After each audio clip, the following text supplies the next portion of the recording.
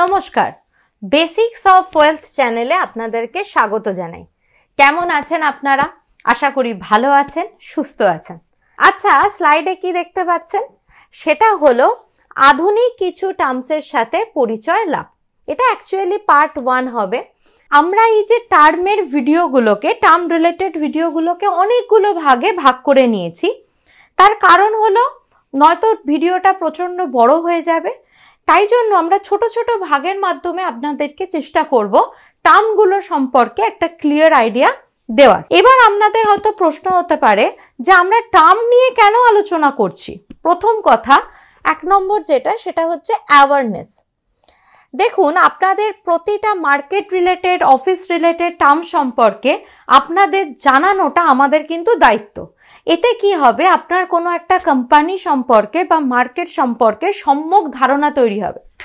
আর second হচ্ছে future investment যখনই এই সমস্ত টার্মগুলো আপনারা জানবেন, আমরা তো উদাহরণ দিয়ে আপনাদেরকে বোঝানোর চেষ্টা করব, তাতে আপনাদের ফিউচারে ইনভেস্ট করতে অনেকটা সুবিধা হবে। এটা বলতে পারেন, এই টার্মগুলো জানা মানে আপনারা ইনভেস্টমেন্টের ধাপগুলো সম্পর্কে একটা স্বচ্ছ ধারণা পাচ্ছেন।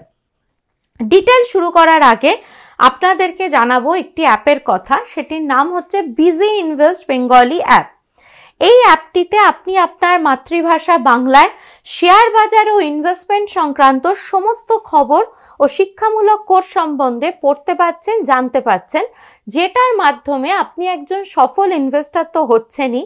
এবং সবথেকে বড় কথা, খবর পড়ার সময় অন্যান্য পোর্টালের মতো অপ্রয়োজনীয় বিজ্ঞাপন দেখে আপনার সময় নষ্ট বা মুড খারাপ কোনোটাই করতে হচ্ছে না। কারণ এখানে কোনো বিজ্ঞাপন নেই, আর বছরের সাবস্ক্রিপশন চার্জও ন্যূনতম দুশো নিরানব্বই টাকা। অর্থাৎ এই টাকার বিনিময়ে আপনি গোটা বছরে শেয়ার বাজারের খবর এবং শিক্ষামূলক কোর্স সম্বন্ধে পড়তে পাচ্ছেন জানতে পাচ্ছেন আর আপনারা আমার যে ভিডিওটি দেখছেন, সেটারও রিটেন ভার্সান আপনারা কিন্তু এই অ্যাপে পাবেন। লিঙ্ক ডেসক্রিপশনে দেওয়া আছে। ইনস্টল করুন। আমি নিজেও কিন্তু এই অ্যাপের একজন ব্যবহারকারী। আসুন জানা যাক আমাদের ফার্স্ট টার্ম ফ্যামিলি অফিস সম্পর্কে। দেখুন, যখন কোনো ব্যক্তি প্রচুর বড় লোক হয়ে যায়, তার কাছে এত টাকা থাকে যে পরিবারের সমস্ত টাকা ম্যানেজ করতে কিন্তু খুব প্রবলেম হয়। শুধুমাত্র টাকা নয়, কোনো ফ্যামিলি চালাতে গেলে একটা তো ডে টু ডে খরচ লাগে ডে টু ডে ম্যানেজমেন্টের দরকার হয়, সেটা কিন্তু ভীষণ কঠিন হয়ে পড়ে। তখন এই সমস্ত মানুষেরা মানে যাদেরকে আমরা রিচ পিপল বলি তারা একটা ফ্যামিলি অফিস সেট আপ করেন ফ্যামিলি অফিসের কাজ অনেকটা মিউচুয়াল ফান্ডের ফান্ড ম্যানেজারের মতো, হয়তোবা অনেকটাই বেশি। এবার কীরকম বেশি আসুন সেটা বোঝা যাক। দেখুন মিউচুয়াল ফান্ড ম্যানেজার টাকাটা ইনভেস্ট করে কোনো ফিক্স নাম্বার অফ অ্যাসেট যেমন সেটা স্টকস হতে পারে সিকিউরিটিস হতে পারে, এই পর্যন্ত। কিন্তু আপনাকে জমি কিনে দিতে পারে না। এখানেই পার্থক্য হচ্ছে একটা ফ্যামিলি অফিসের সাথে মিউচুয়াল ফান্ডের ফান্ড ম্যানেজারের ফ্যামিলি অফিস সমস্ত কিছু করে। তারা মানির ওনারের অনুমতি নিয়ে যেখানে খুশি ইনভেস্ট করতে পারে, যদি তারা মনে করে এটাকে গুড ইনভেস্টমেন্ট এর একটা বড় এক্সাম্পল দিই। জেনার নামের সাথে আমরা কিন্তু সবাই পরিচিত। উনি হলেন বিল গেটস যিনি মাইক্রোসফটের প্রতিষ্ঠাতা। এটা কি আপনারা জানেন যে বিল গেটস ইউএস এর সব থেকে বড় private farm land owner owner কাছে প্রায় তিন লাখ একর জমি আছে। সেই অর্থে দেখতে গেলে উনি কিন্তু সব থেকে বড় কৃষিজীবী। এই সমস্ত জমি কিন্তু উনি দু হাজার দশ সালের পর থেকে কিনছিলেন।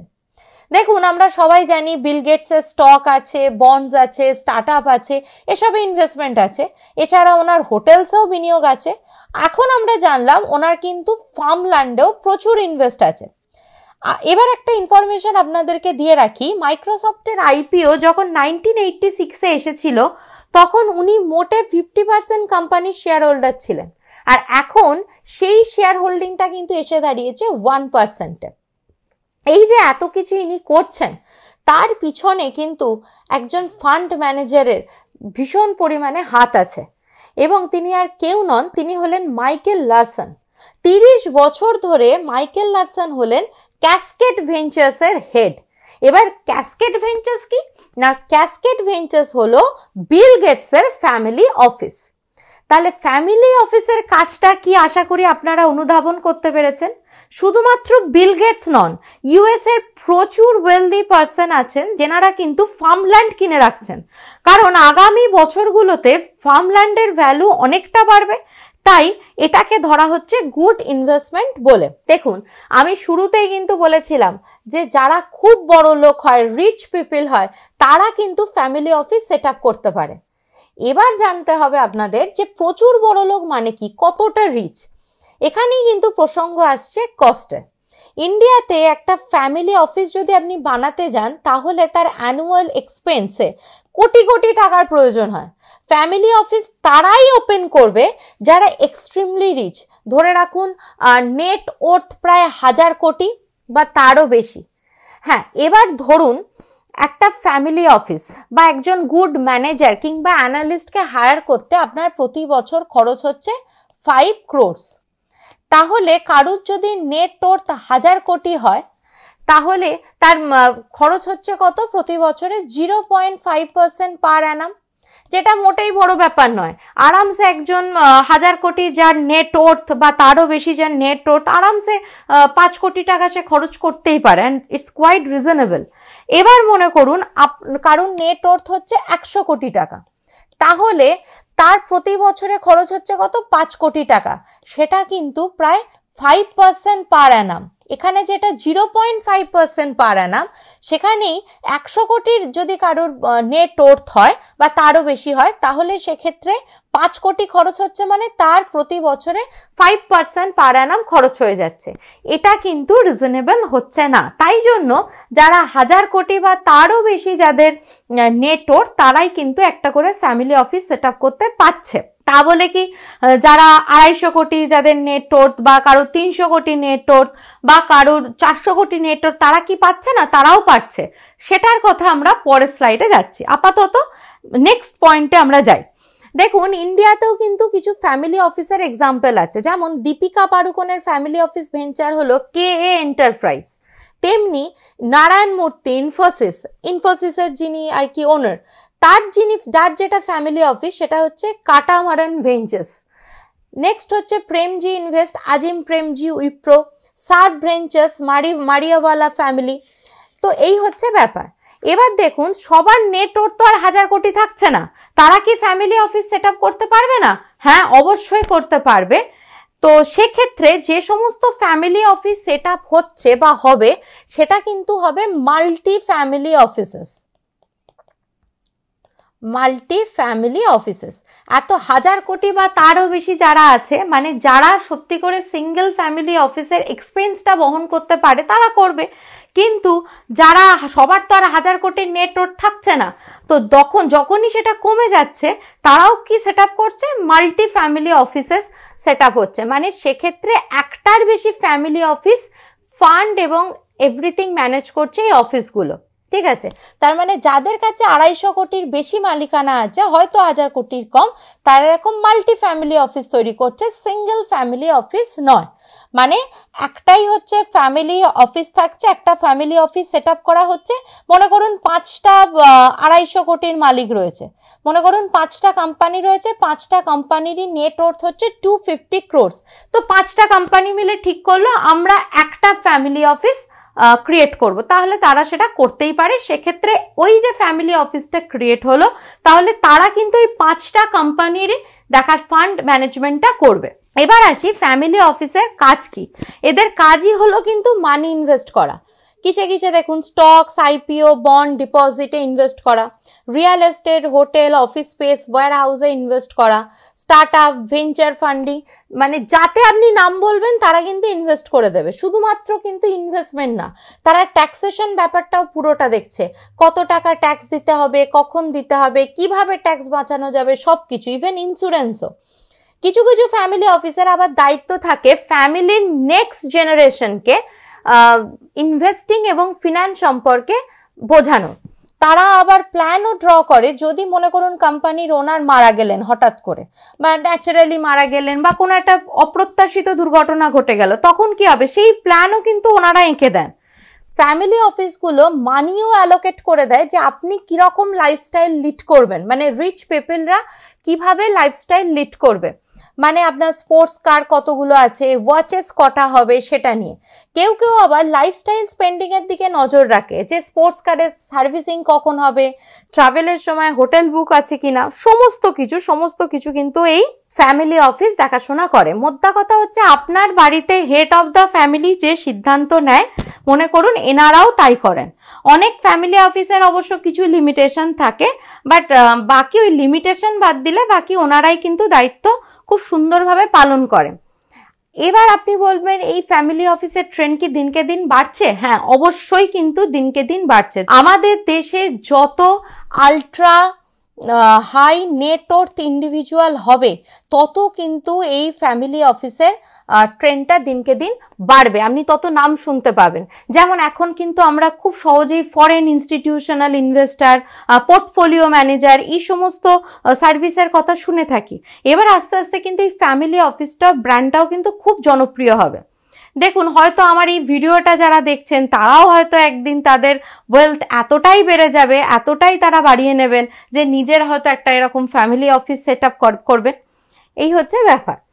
তো সেকেন্ড হচ্ছে আমাদের টার্ম সেটা হচ্ছে ফরেন এক্সচেঞ্জ রিজার্ভ দেখুন ফ্যামিলি অফিস সম্পর্কে তো আমরা জানলাম ফ্যামিলি অফিস টার্মটা সম্পর্কে আমরা হয়তো একটু আমরা বোঝানোর চেষ্টা করলাম আপনাদেরকে।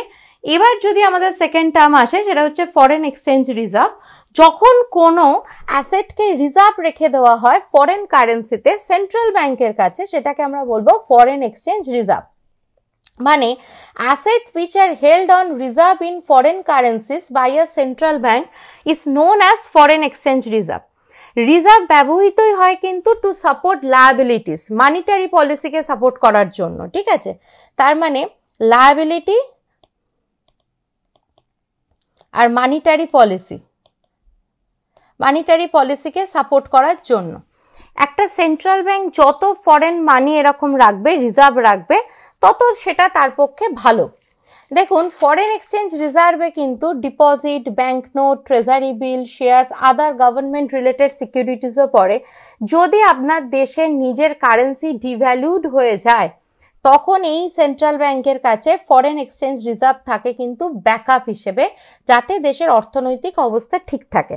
এবার আমি হঠাৎ করে ফরেন এক্সচেঞ্জ রিজার্ভের কথা কেন বললাম? কারণ রিসেন্ট নিউজ এসছে যে ইন্ডিয়ার ফরেন এক্সচেঞ্জ রিজার্ভ কিন্তু কমে যাচ্ছে, প্রায় eight point three one billion dollar এখন সেটা দাঁড়িয়েছে five six six point nine four billion ডলারে যেটা আগামী এগারো মাসের মধ্যে সব থেকে বড় বিগেস্ট ডিক্লাইন সব থেকে কমেছে। এবার নেক্সট টার্ম আমরা জানব, সেটা হচ্ছে ট্রেড ডেফিসিট দেখুন, যখন কোনো দেশের ইম্পোর্ট এক্সপোর্টের থেকে বেশি হচ্ছে, তখনই ট্রেড ডেফিসিট দেখা যাচ্ছে। এই যেমন দেখুন এই আমরা যদি এখন জানুয়ারি মাস অনুযায়ী ধরি, এটা হচ্ছে অ্যাকর্ডিং টু জানুয়ারি তাহলে ইম্পোর্ট হয়েছে fifty point six six billion dollar thirty one point nine one billion dollar হয়েছে এক্সপোর্ট তাহলে trade deficit seventeen point seven five billion dollar তার মানে এক বছরের মধ্যে সব থেকে কম ট্রেড ডেফিসিট হয়েছে জানুয়ারিতে। তো এই হলো আমাদের টার্মের টার্ম রিলেটেড কিছু ভিডিও এখানে আমরা তিনটে টার্ম সম্পর্কে পড়লাম, যেগুলো আমরা আমরা আপনাদেরকে জানানোর চেষ্টা করলাম। আমরা চেষ্টা করলাম আপনাদের টার্মগুলো সম্পর্কে একটা ক্লিয়ার আইডিয়া দেওয়ার। আশা করি আপনারা পেয়েছেন। এই term related video part two কিন্তু খুব তাড়াতাড়ি আসছে। এর আগেও কিন্তু আমি বিভিন্ন স্কিম যেমন প্রধানমন্ত্রী ভায়া বন্দনা যোজনা কিষাণ বিকাশ পত্র MIS Mahila Samman saving certificate SC S S FD আবার গোল্ডের ইনভেস্টমেন্ট এর উপায় নিয়েও কিন্তু অনেক আলোচনা করেছি। যদি না দেখে থাকেন অবশ্যই দেখুন। লিঙ্ক ডেসক্রিপশন বক্সে দেওয়া আছে। আমরা চেষ্টা করেছি প্রতিটা বিষয়ে খুঁটিনাটি নিয়ে আলোচনা করার। ভালো লাগলে অবশ্যই শেয়ার করুন লাইক করুন কমেন্ট করুন আর সর্বশেষে সাবস্ক্রাইব করুন। সাবস্ক্রিপশন বাটন প্রেস করতে কখনোই ভুলবেন না। খুব তাড়াতাড়ি আসছি আমরা আপনাদের কাছে একটি ইন্টারেস্টিং ভিডিও নিয়ে। ততদিন ভালো থাকুন, সুস্থ থাকুন আর সাথে বিনিয়োগ করুন। BG invest Bengali app download করুন। আপনি বিশ্বাস করুন, আপনাদের কাছে একটা নতুন পৃথিবী খুলে যাবে। নমস্কার।